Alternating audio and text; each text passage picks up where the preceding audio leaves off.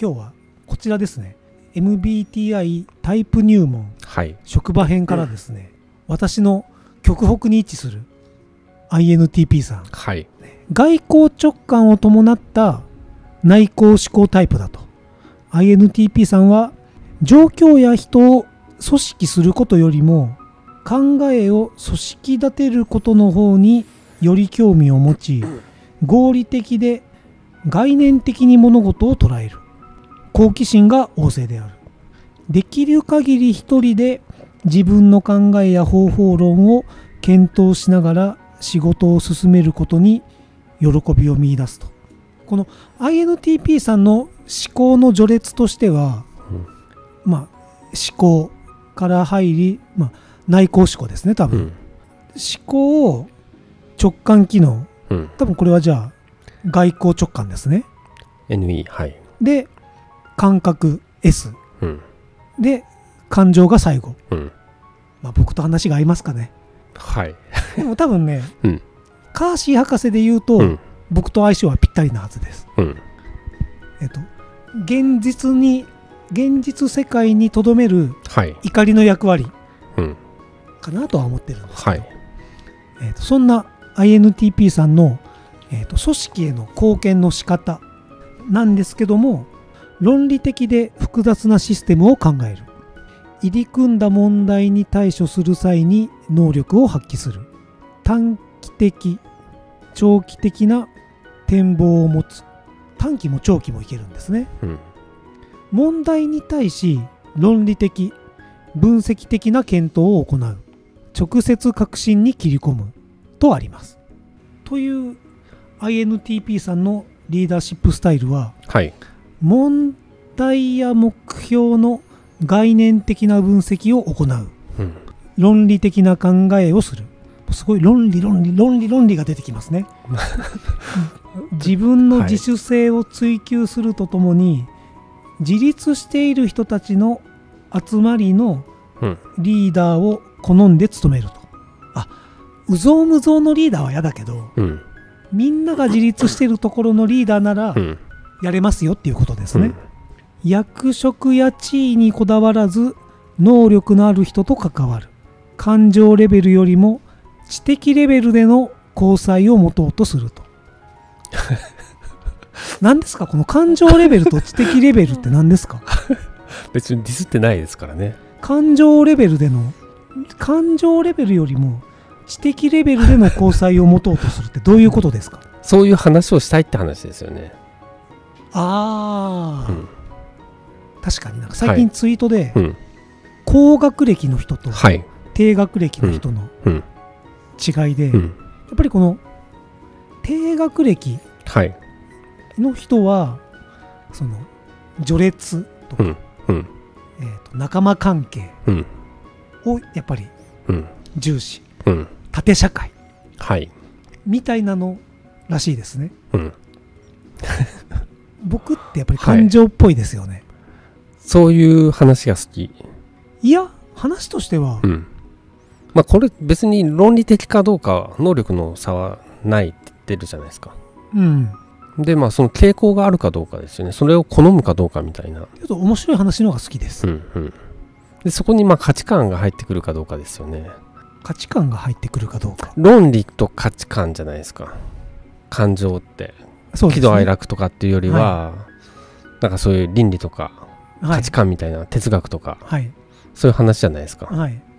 か論理なので筋道立ててみたいなこれがこうなるからこうなるんだよみたいな話が好きかみたいな。じゃあ僕全く論理的じゃないですね多分。はい。これは、ま、間違いなくそうですよね。間違いなくかどうかわかんないですけど。見てくださって本当にありがとうございます。はい。論理的じゃないやつなのにまあでも別に頭が悪いとかっていう話じゃないですからね。悪いですよ僕は。哲学とか頭が悪いかは別の話ってた話です。だ哲学は好きです。はい。好き。好きこそものの上手なれにはなれななれなかったんですけど、そんなはい。なんか今もうすごい申し訳ないとか思いながらうん。INTP さんのランニングスタイルは、始めも終わりも設定せず自分の興味の赴くまま個人的に深めていく。うん。自分の理解に挑戦してくるようなことを幅広く概念的に学ぶことを好むと。うん。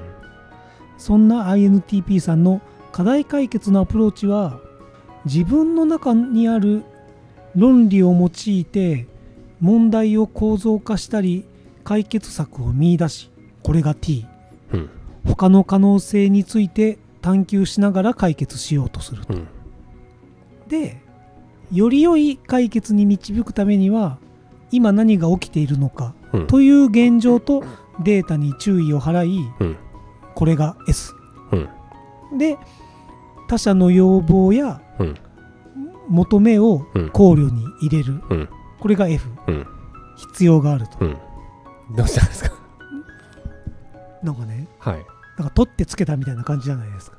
間違ってるうん。他者の要望やうん求めもうん。考慮に入れないとうん。不満分子が生まれますようん。みたいなことが書かれてるように僕は見えるんですよ。まあそれもあるんじゃないですか。何？そういうとこじゃないですか。世の中はこ間違っているがう間違っているが？大多数いる間違った答えでもうん。多少考慮に入れないとうん。この INTP さんが考えたうん。純粋に時々に尖ったうん。答えうんがあるんだけども、うん。まあ、こういうバカどもの意見も入れとかないと、うん。後々よろしくないですよ。それは間違ってるけどね。ってうん。言われてるみたいな感覚を受けるんですよ。その間違ってるか正しいかなんてないじゃないですか。世の中にはね何が間違ってるかなんかないですよ 本当に、うん。だったら別にディスってないんですよ。あれ？人の ディスられてる気になってるだけ。ですかね、うん。えっと INTP さんにとって僕がそうやって見えてないことをはい。望みます、うん。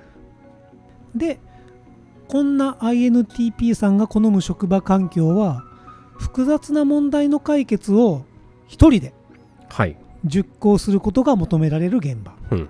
一人になれる時間が十分にありうん。じっくり考えるための空間がある。独自の考え方や独立独行が奨励される柔軟な方針と自由に仕事が進められる。静かで会議が最小限しか開かれない。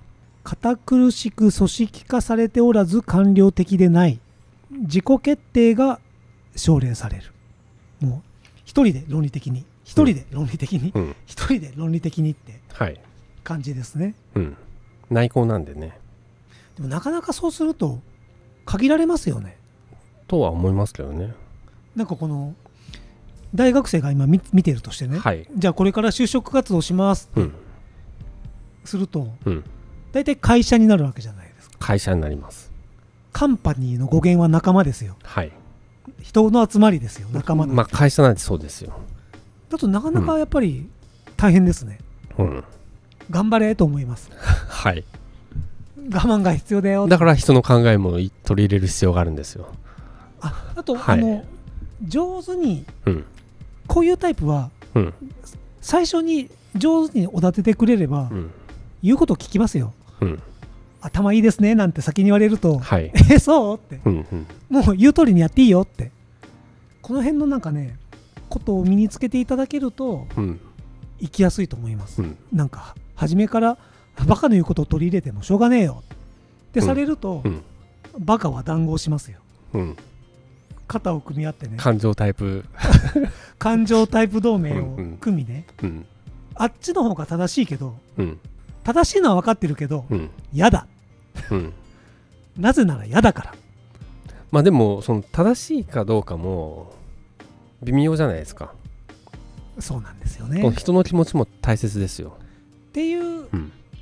分かり合いがはい、みんなでできるとうん。いい社会ですよね。うんうん。はい、縦社会好きなのはこのツイッターで見たのははい。このマイルドヤンキーって言われる人たちですよね。はいはいはい。えっ、と郊外でうん。ベルファイアに乗る人。あんまり言わない方がいいかもしれないですよ。もしくはボクシーですよ。いるかもしれないじゃないですか。あんまり言わない方がいいですよ。はい。社長。あー申し訳ございません。い。い車です。はい。今度出るうん。のがうん。クラウンのねはい。クラウンがベルファイアっぽくなるんですよ。え。クラウンワゴンみたいな。ー、はい。1400万ですって。高っ。高っと思って。はい。買うのはマイルドヤンキーですよ、はい。はい、地元でうん。土建業をやりうん。成功した人が乗うんるんですよ、うん。えー、と口が滑っちゃうんですよね。違う価値観の人と接するのはうん。好きなさくらさん。うん。あ二等兵さんが頭が悪いとは思ってません。うん。取り入れましたね。INTP が。はい。感情を。感情タイプを考慮しだ転がす術を。風呂敷を広げまくって収集がつかなくなる可能性もあるわけですけど。いろんなの入れるから。そうでもまあ、うん。そうやって見えないんですよね。INTP T, T の人。っはいて T の人なのか。TP の人なのか、はい。なんかねその焦りが見えないんですよ。うん。でなんかこっちはウェブを振ってねうん。直前に聞くじゃないですか。はい。どうなってます？うん。できてませんとか平気でうん。言いやがるんですよ、うん。僕それをなんか TP タイプだと思ってるんですけどまあそうかでもしれない。きてないだと？って。そうかもしれお前ないですけど、ね、どれだけ前にこっちはデータを渡したと思っとるんだと。うんみたいなのがよく起きる気がしてます。でうん。INTP さんの考えられる弱みは考えが抽象的になり実際にしなければならないことに対して非現実的になることがあると。知的な面に頼りすぎてうん。説明が試作的なものにとどまることがある。うん。現実味から離れていくんですかね。うんチームワークや全体の調和を犠牲にしてまでも些細な不一致を気にかけることがある。こっちでもスケジュールスケジュールって言ってるのに、うんうん。ちょっとここの整合性があって。うん。いやもう。あーでもそれを僕分かる気がしちょっますともうそれいいから 置いとこうって。うん。やってって。うん。人の批判や分析をするあまり人間味に欠けると思われることがあると。うんうんさくらさんはねなんか人間味を感じるんですよね。はい。会ったことないから分かんないけど。はい。二等兵転がすあたりが。うん。大人だからかもしれない。はい。ではこの INTP さんの成長のためのヒント。実際的な詳細にもっと注意を向け考えを実現させるための具体的な手順を踏む。多分これ S の部分ですよね、うん。物事をできるだけシンプルに簡潔に説明できるようにする。難しいんですよ何がですか？説明が。その人の INTP さんの。あはいはい。いやこの物事をできるだけシンプルに簡潔に説明できるようにしましょうねって言ってるのでこの本が、うん。まあそうだと思う。N の人って複雑じゃないですか話が。N のやつな。はい。突拍子もないことを言い出すんですよね、はい。突拍子もないことを、はい。5割なのに。うん、勘と一緒ですよそんなの。勘ですよ。勘みたいなことをねうんなんか見通すとか言うんですよ。多分ストーリーなんですよ。作られるストーリーが。これはこういうストーリーだって。でそっちに進んでいくからそっちに進んでいくんですよ。だってそっちの方が進みたいんですもん。そっちにだからこうそっちに進めばそうなるじゃないですか。やだってみ皆さんの正解ってうん。皆さんの頭の中にあるじゃないですか、はい。それはそっち進みますよ。僕の中の正解ですもん、そうすると正解になるわけじゃないですかっていう話だと思ってます N の人は。こういう筋道が分かるっていうよりはもうこういう筋道を作っちゃうんじゃないですか。で決めて進むみたいな。そうかもしれないですね、はい。だからうまくいく時もあれば、うんうん。うまくいかないいか時もある。ない時もあるっていう、はい。50%っていう。50%ですね、はい。他者のことについてもっと知るように働きかけその人に対する感謝の気持ちや思いを表現しようとありますね。はい